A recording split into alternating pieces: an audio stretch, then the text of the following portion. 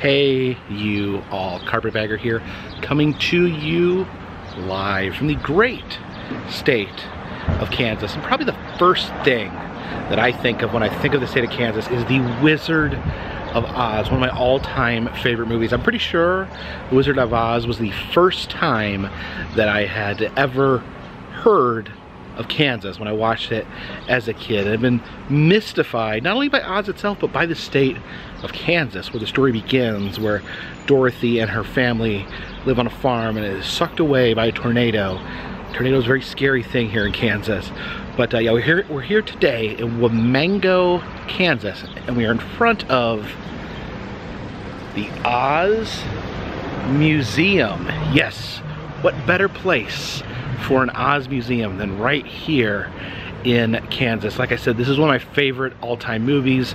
It is a movie that you can watch as an adult, as a young child, and still get something out of it. It was a remarkable feat of special effects for its time, and it absolutely holds up to this very day. Love everything about it except how they treated Judy Garland uh, behind the scenes. But the movie is still a beautiful piece of cinema, and I'm looking forward to heading into the Oz Museum. So please, follow me.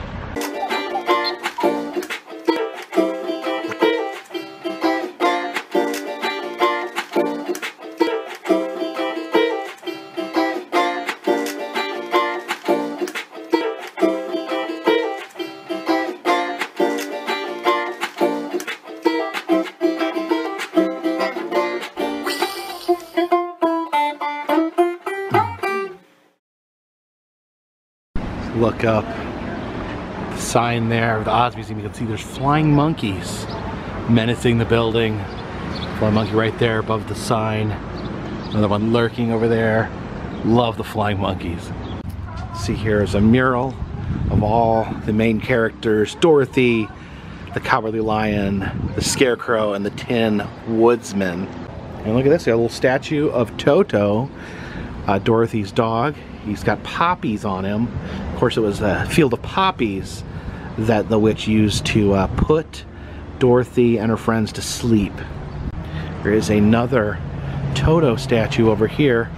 Looks like you see houses and buildings. Looks like this may just be a Toto themed after maybe the town of Womango.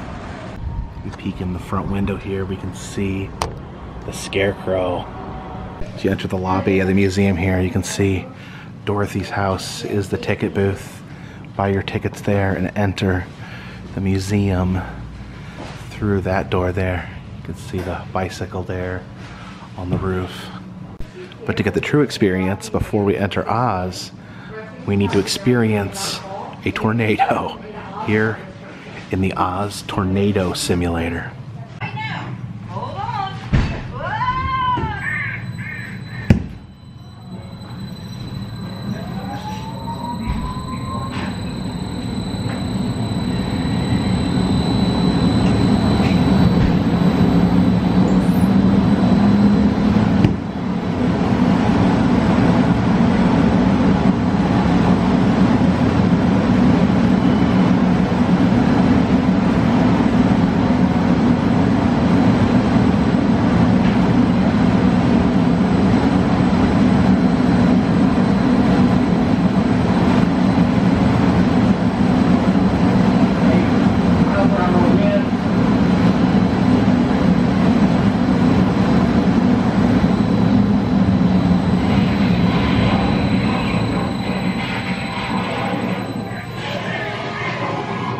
Now we're ready.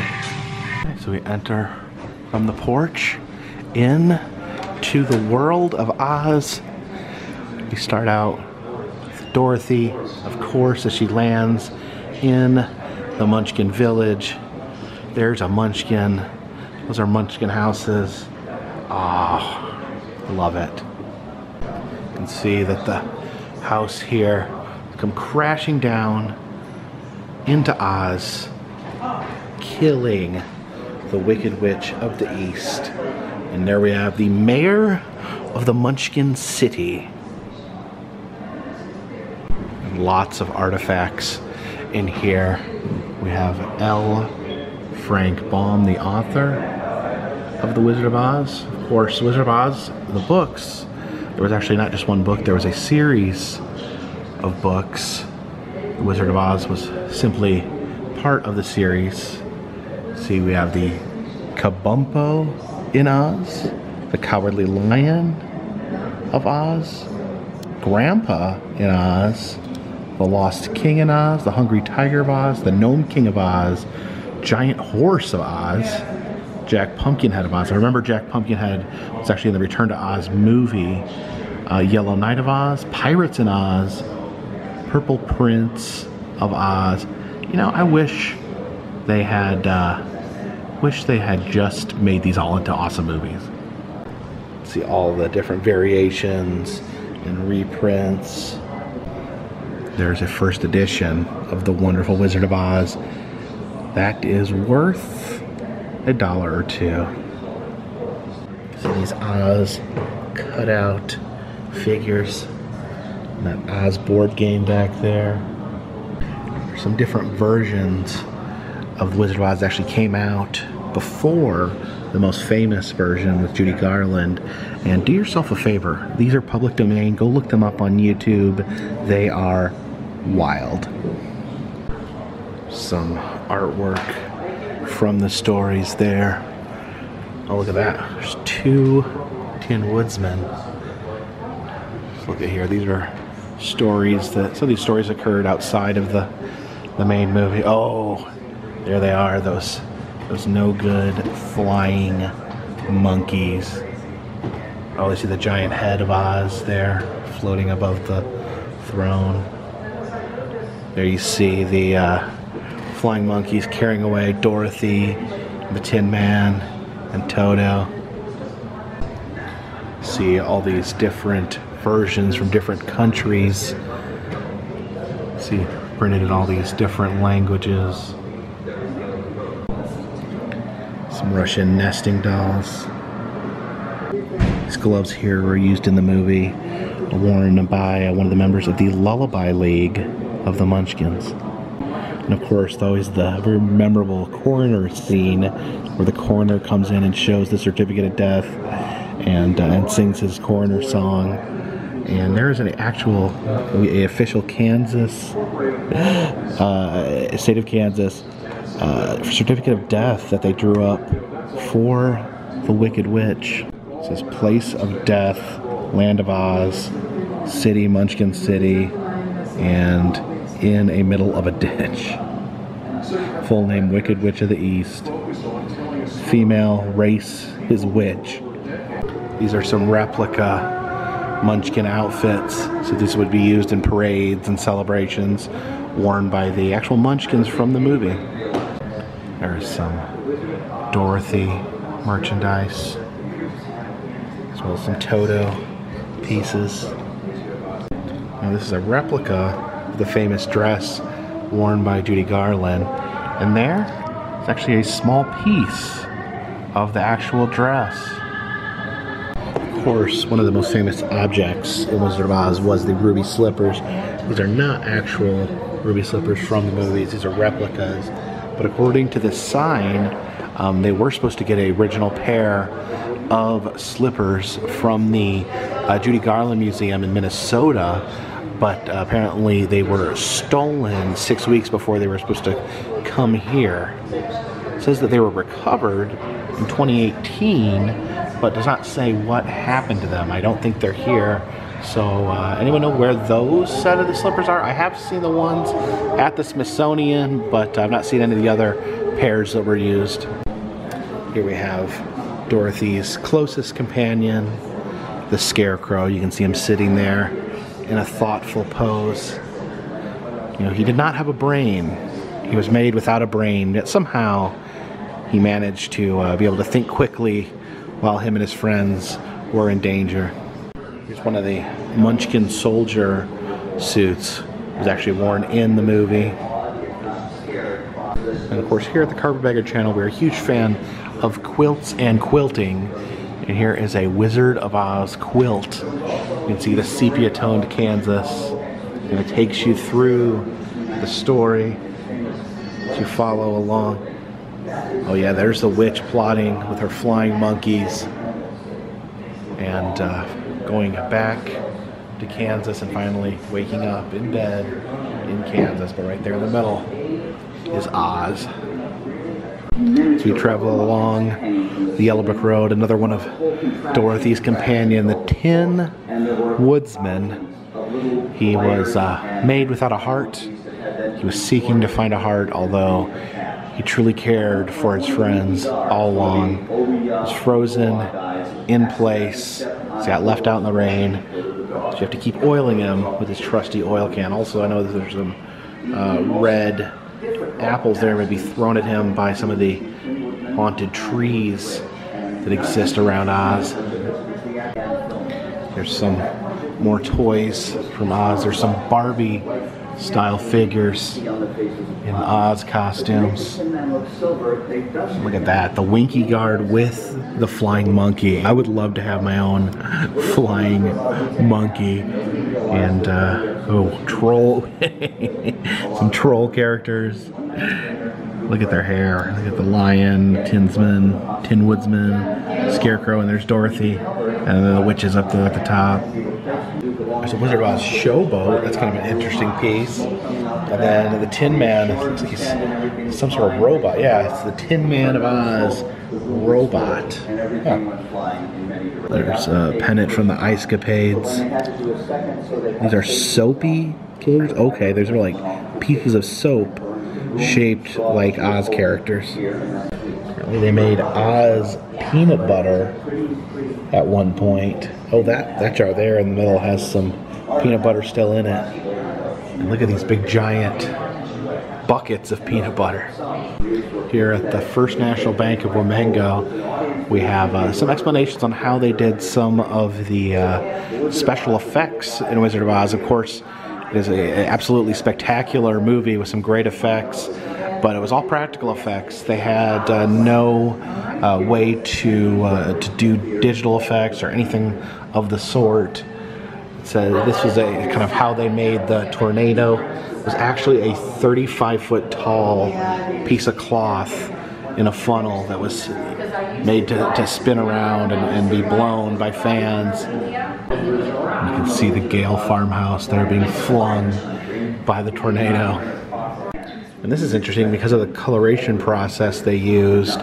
Um, they'd use different colors on, on set. They said that uh, some of the whites that Dorothy wore were actually pink to be picked up better by the camera.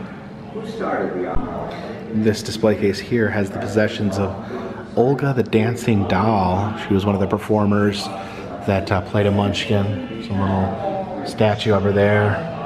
It's her makeup case, her dress, her little tiny ballet slippers. There's her suitcase there with some more items in it. And her chair that read Olga the Dancing Doll. These are items given by the International Wizard of Oz Club. Looks like there's a lot of maps of Oz here in this case. And actually this one here, this is a map of the uh, Beech Mountain Oz theme park in uh, Beech Mountain, North Carolina. And I actually have this hanging up in my house. Uh, very cool to see it here. The Kaw Valley State Bank here has some uh, marionettes. See the Tin Man marionette there and a Scarecrow marionette. This is uh, the passport of Ray Bolger, who played uh, the Scarecrow. Actually, this is uh, him in, in later years, but yeah, his actual passport. It says here that uh, Ray Bolger actually had the makeup permanently tattoo his face and that some of those lines that were drawn on his face stayed there the rest of his life. Yeah, the makeup was no joke here. Buddy Ebsen originally supposed to play the Scarecrow, but they used uh, aluminum powder in the makeup that put him in the hospital, and uh, so he had to be replaced. It was, it was tough times in Hollywood. Of course, the Cowardly Lion. It's a Cowardly Lion marionette right there. There's John Lahr Notes on a Cowardly Lion. We have a movie theater here in the back. It says The Wizard of Oz. And actually play Wizard of Oz on a loop back here. Looks like the witch has just been melted. And there's that cowardly lion. You know, the scarecrow was smart all along. The uh, the Tin Man, he cared, even though he allegedly didn't have a heart. The cowardly lion, he said he didn't have any courage, and and he and he, and he kind of didn't. he was kind of really actually cowardly, but you know, I think in the end he did he did overcome his fears and uh, help kill the Wicked Witch of the West. Oh no, it's like things just got intense here. We're heading into the haunted forest, the witch's castle. So I I'd turn back if I were you. Oh man, I'm not gonna get jump scared in the Oz Museum, am I? There we have in the dark the Wicked Witch of the West. And here is the Wicked Witch case. All these toys and dolls of the Wicked Witch herself. This was actually used in the film. These glasses were worn by uh, Margaret Hamilton as she was uh, Miss Gulch. With the witch there consulting with her flying monkeys, about to send them out to go capture Dorothy. I love this, the flying monkey case. Again, one of my favorite just character designs of all time. The flying monkey from that movie. There's the Winky Guard right there. And then you see the monkeys flying through the air. There is one of the Winky Guards who ominously chanted, Oh, wee, oh, oh, oh. Says that the spear here was actually used in the movie, and um, the, the, the costume here is a replica. But uh, yeah, very cool. Says that this Munchkin house here actually used in the film The Muppets Wizard of Oz. Some other great looking Oz toys. Man, there are so many toys based on that movie. And a movie that I have a true soft spot for, Return to Oz. This movie, this movie is something else. It is terrifying, but it is amazing at the same time. It blindsided me as a kid who was expecting a happy sequel to Wizard of Oz. It's an unofficial sequel. It was made by Disney, Walt Disney, um, and uh, so they couldn't use uh, certain things from the original movie, but they made up for it with all these these crazy characters. One of the most memorable characters, of course, Jack Pumpkinhead. There, and you see the, the Dorothy had a chicken instead of Toto for some reason. And if you look over here, this plate here was actually part of the Tik-Tok's uh, costume. Tik-Tok was a was a robot, a, uh, a brass soldier, and this was actually a plate. It says patented clockwork mechanical man. Dorothy actually reads off that uh, off that this plate in the movie. Yeah, yeah. For, it says for thinking, wind number one under left arm for speaking, wind number two under right arm for walking action wine number three middle back. He had different gears that he would turn for different actions. That's really cool. Yeah, and there's Tik-Tok in toy form there. It says this was a rare uh, figure sold at uh, the Disney parks in Japan. Possibly the scariest thing in this movie was these creatures called the Wheelers. These, these, uh, that, that wheels instead of arms, and they, they were terrifying. They chased Dorothy. And actually, I'm gonna take it back. They were not the scariest thing in the movie because this woman who could switch her head and had a hallway of severed heads that she switched her own head with, she was the scariest thing. It, this movie's terrifying. It's, it's great, but it's terrifying. There's the good witch, Glinda.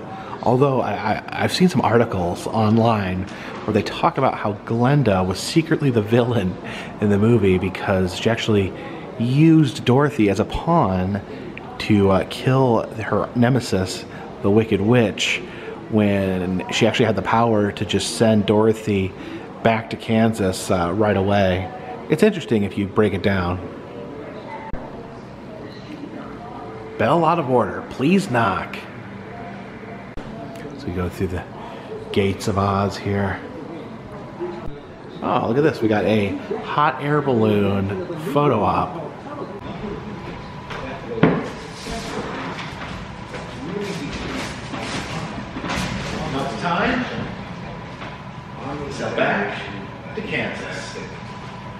Yeah, it was the Omaha State Fair that the wizard, who was just a normal man, uh, was flying in a hot air balloon and got blown to Oz and then took over the role of the wizard. Here's some other versions of The Wizard of Oz. The play Wicked, which treated the uh, Wicked Witch of the West as the protagonist. And they have some props here. They have uh, some, some boots that were worn by an Oz denizen, a green elixir bottle used by the Wizard of Oz, and some green spectacles used by a denizen of Oz.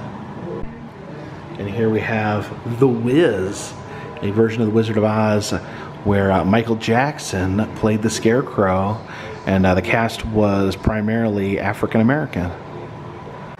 Here's kind of a forgotten movie. Does anyone remember the Oz the Great and Powerful, another Disney sequel or prequel of uh, The Wizard of Oz? And uh, I remember seeing this, and I remember thinking it was it was okay. It was all right. It didn't offend me. It didn't ruin my childhood. But uh, yeah, I don't think it was a very I don't think it was a very big hit. And then Legends of Oz in 3D, Dorothy's Return. Yeah, I've never heard of that. As we see the sepia door, we head back into Kansas and through the gift shop. And they have women's ruby slippers, but they actually are slippers in the traditional sense. They have children's ruby slippers, no men's, no men's ruby slippers.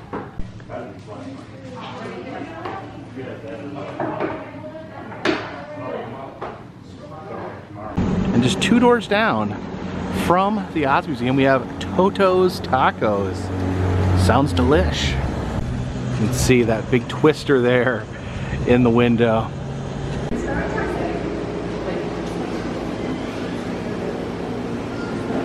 So I ordered what is known as the Yellow Brick Burrito. Also got a grapefruit Jarrito. It's a Mexican soda. Love the grapefruit flavor. All right, let's give this Yellow Brick Burrito try. It's smothered in cheese.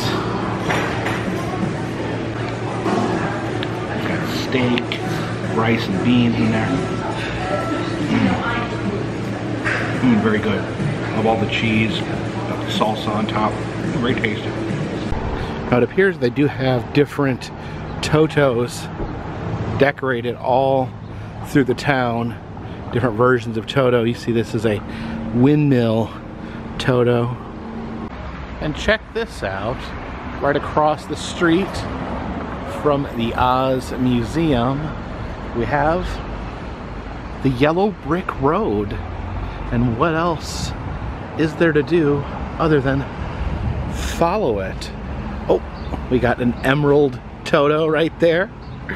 As we head along the yellow brick road. We see Dorothy landing in the Munchkin City there, talking to Glinda. Oh, here we have the, the scarecrow hung up on his pole, asking Dorothy for help. The Tin Woodsman there with an apple. Oh, poor cowardly lion.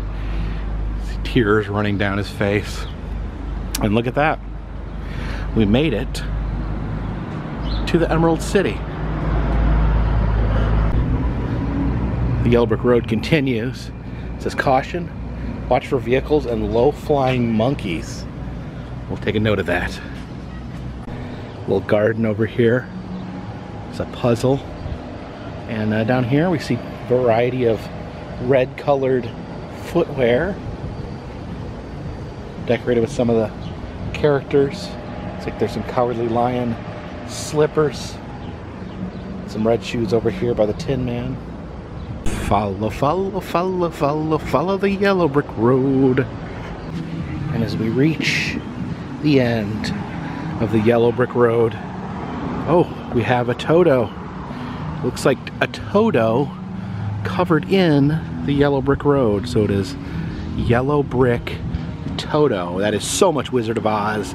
It's like the world is folding in on itself. Texas as we tour the Wizard of Oz Museum and walk the yellow brick road. Love Wizard of Oz, love Wizard of Oz themed attractions. And when you're in Kansas, you've got Sorry, I had a bug on my glasses. When you're in Kansas, you've got to check out the Wizard of Oz attractions. Uh, if you like this video, consider checking out some of the older videos on this channel. I've been to the 48 continental United States filming museums, roadside attractions, amusement parks, haunted houses, and other fun random stuff. Uh, if you'd like to help support the channel, consider donating to Patreon. $3 or more will get you a postcard once a month. Also, in the Etsy shop, we have different styles of enamel pins. And if you want to subscribe, that would help as well. Let you know when new videos come out there. The videos are constantly coming out on this channel. A very regular upload schedule. And uh, until next time, this one's in the bag.